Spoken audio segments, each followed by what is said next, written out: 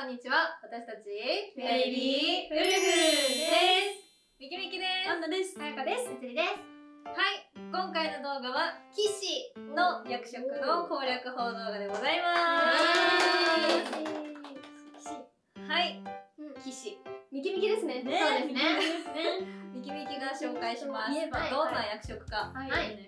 騎士というのは、まあ、人狼の噛み先から、ま、あの噛まれないように守る、うん村人人間を守るというね役職でございます、い。いい人。いい人ですね、はい。もうそれだけで役職どんな役職っていうのは？うん、伝わった伝わりましたね。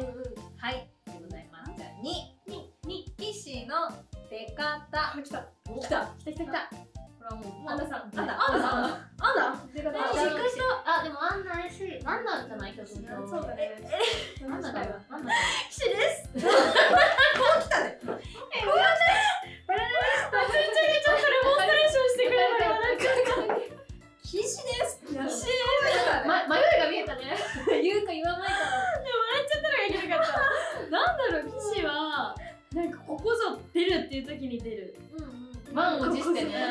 なんか、歌なんかさ。騎士って結構さ、何人狼っぽい動きもするから。3日目とかまで生きてて、あ、ちょっとあんな怪しくないみたいに言われたら、騎士みたいな。それレバション それじゃない、ちょ似ちゃったね。なんていうの？こうなんてこうやって言ってたよさっきね騎士騎士みたいな。騎士です占い師とか霊媒師うん。と比べるとなんだろう騎士っていうのはやっぱり出方がすごく難しいっていうか難しい。むずいね。言わない方がいいもんね、基本的にね。普段はうん。出ちゃいけないっていうそうかダメじゃないんですけど、なるべくなるべく最初初の方には言わないように抑えて抑えて。絶対自分に票が入っちゃうなって思った時には出た方がいいんだよね。そう。出た方がいい。場面は。ある。だからこう13人とか13人でゲームをしていると日にちごとに2人ずつ減っていくから11人、9人7人になって7人になったら出ていいって思ってて私、うんうんうんうんなんか7人で隠しろとかになってなければ、出ていいから。でも隠しろでも後の例えば人狼とかがあの嘘をついてね自分が騎士ですとか言っちゃう時もあるから絶対自分が次噛まれるだろうの7人でもう出ていいかなと思っちゃうんだよね。減ったら疑われない方がいい。あとやっぱりその騎士の人たちって結構いろんなことを考える。考えることが多いから。怪しまれちゃって人狼結構人狼って言われる時が多い。人狼って言われるとさ占い師に黒って言われると結構お得じゃない？嬉しいね。騎士って黒って言われたら騎士って言って返せるから偽物って確定させれるから。確かに。あと黒飛んだ時は騎士って言った方が基本は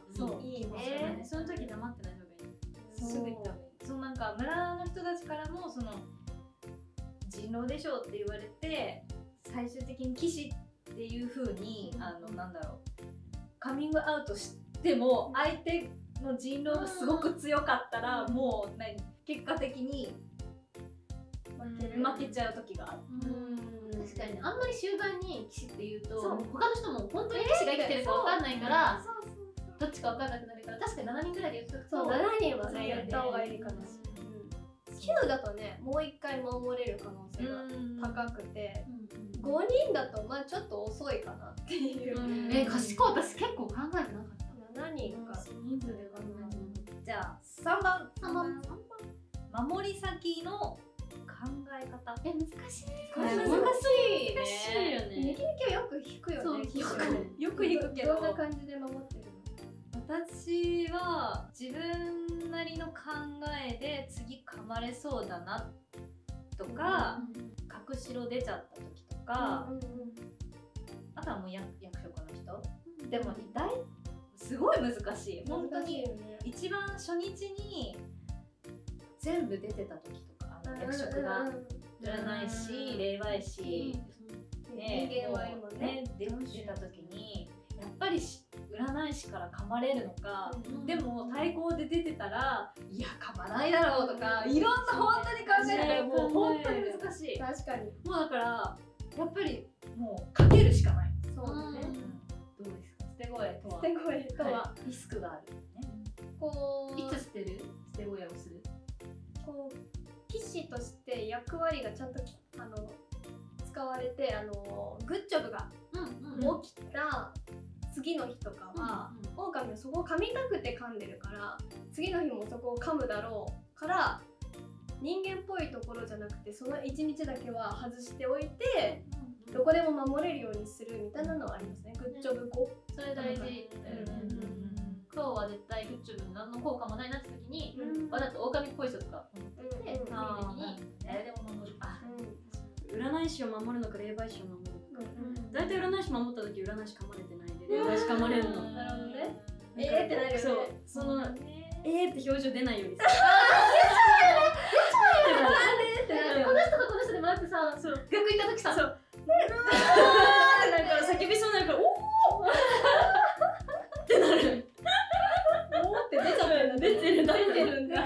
グッチョブを起こすとするじゃん、うん。グッチョブを起こして次の日の朝来たら今日は誰も死にませんでしたって言った時さ、あんま喜ぶとさ知ってもらえるじゃん。なんかどんな顔してる？でもあんなはあよかった。えでも多分逃げる時もよかったってあのなってるからなんかむななで下ろしてる。よくやった自分が。もうねこらえきれないけどもう頑張って抑えるもんえー、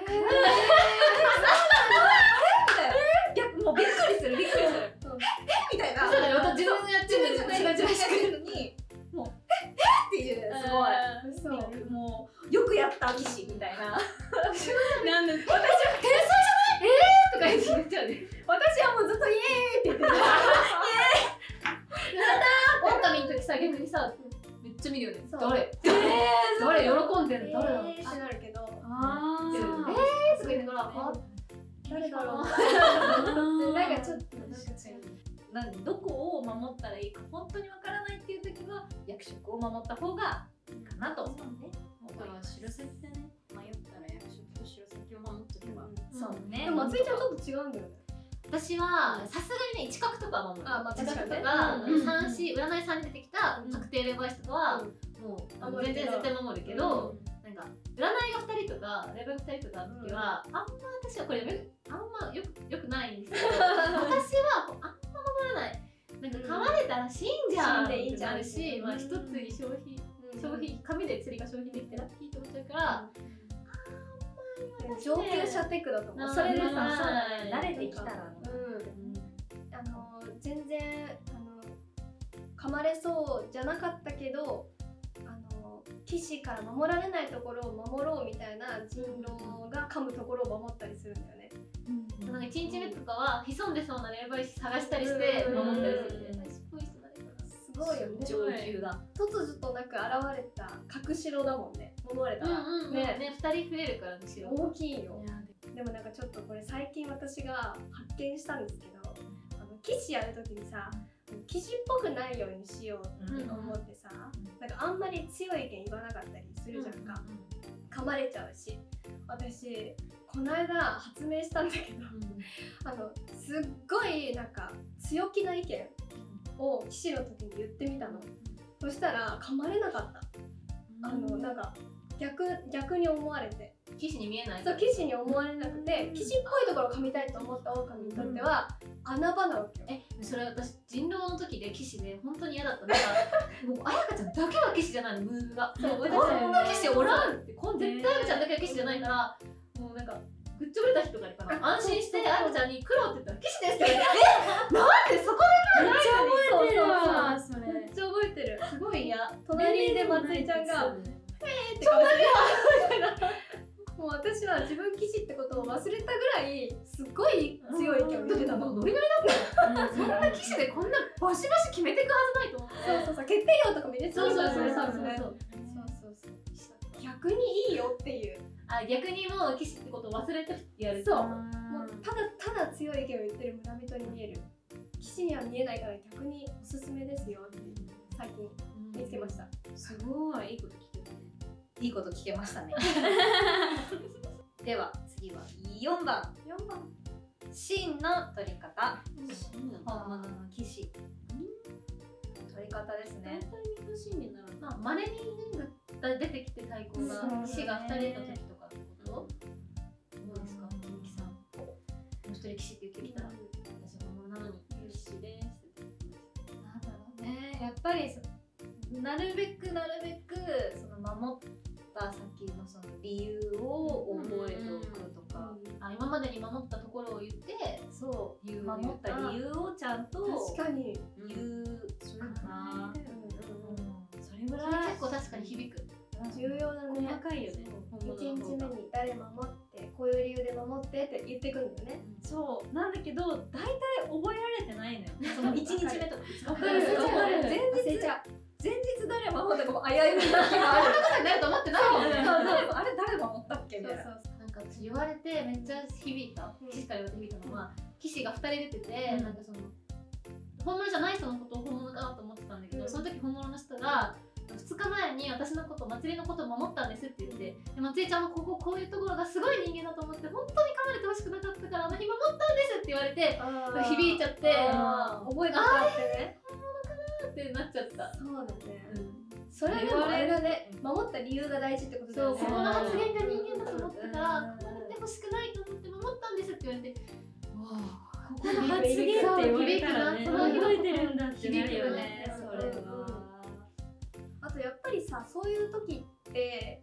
占い師の結果とかも絡んでくるから、なんか自分がこうやってきたっていうのはやっぱ事実としてしかないから淡々と説明した後に自分側というか、自分にとって正しい占い師がいかに正しいかを説明したりとあか。優しい。なるほどね。なんか状況的に自分側の人たちがいかに正しいかを説明したりするかも。だから自分の説明はあんまりしてないのかもしれない。自分の陣営の正しさを主張するだってもう見えてるから対抗が出てきてくれたことによってあそっち側とこっち側で違かったんだって分かったら推理はちょっと進むなみたいな見えてる世界を言うってことうんうんうわ難しいけど大事はいという感じでございます。はい。